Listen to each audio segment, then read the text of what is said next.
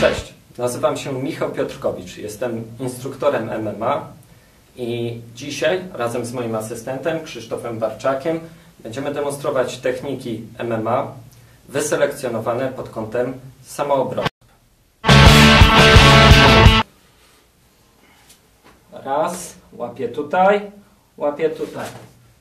W tym momencie tutaj wszystko ładnie jest rozciągnięte i mogę zadać uderzenie, które nie musi mieć specjalnego zamachu. Uderzenie w przeponę powinno być odczuwalne dla przeciwnika. Łączę ręce w ten sposób albo w ten sposób. Odpycham głowę od siebie, blokując przedramię karkiem.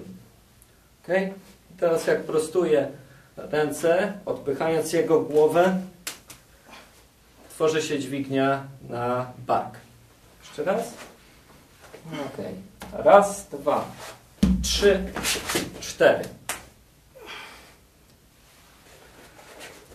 I to samo pokażemy trochę szybciej. Mnie złapał.